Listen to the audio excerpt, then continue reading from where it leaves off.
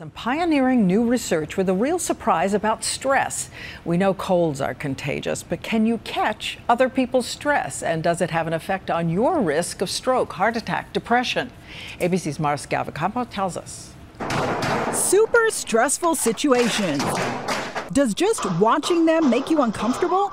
Well, researchers say if you witness them in person, the emotional effect could be even worse.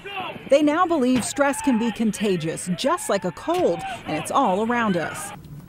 Look for it. They're studying it at St. Louis University. This man is behaving like he's stressed out. You accuse me of stealing a gift card. But researchers are actually interested in Van, the stranger sitting nearby. The question will he catch the first man's stress?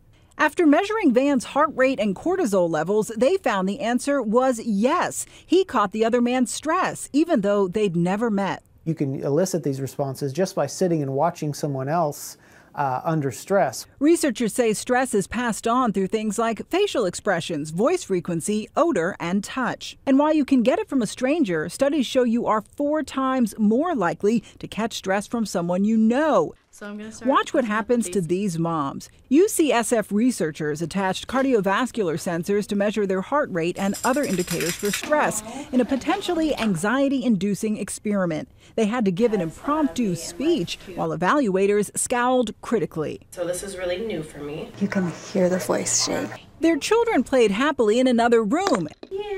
And when reunited with mom, they were hooked up to sensors too.